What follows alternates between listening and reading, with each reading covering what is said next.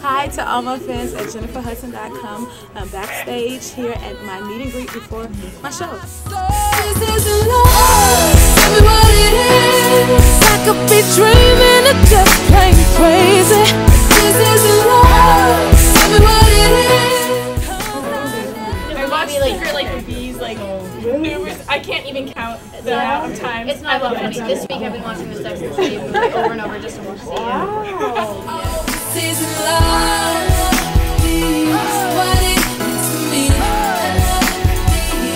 Oh, this is love. I'm selfish 'cause I don't want to share. Oh my gosh, it was incredible. Uh, they're all really, really, really nice. Yeah, she, they're all very nice. Um, my heart was pounding a little bit, but Yeah, I was really, really nervous. it seemed really surreal just to stand next to her. But